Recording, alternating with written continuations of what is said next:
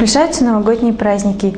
И в связи с этим Управление гражданской защиты напоминает жителям города о правилах безопасности при проведении новогодних праздников. Помещения, предназначенные для проведения новогодних мероприятий, должны быть оснащены первичными средствами пожаротушения, а ответственные за проведение данных мероприятий должны быть дополнительно проинструктированы о порядке действий в случае возникновения пожара и других чрезвычайных ситуаций.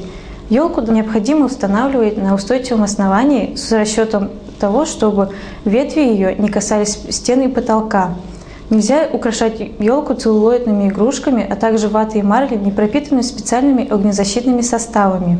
Пиротехнику допускается применять только на открытом воздухе на безопасном расстоянии от здания. Категорически запрещается использовать пиротехнические изделия лицам моложе 18 лет без присутствия взрослых. Также запрещается покупать несертифицированную пиротехнику, а также хранить ее возле нагревательных приборов.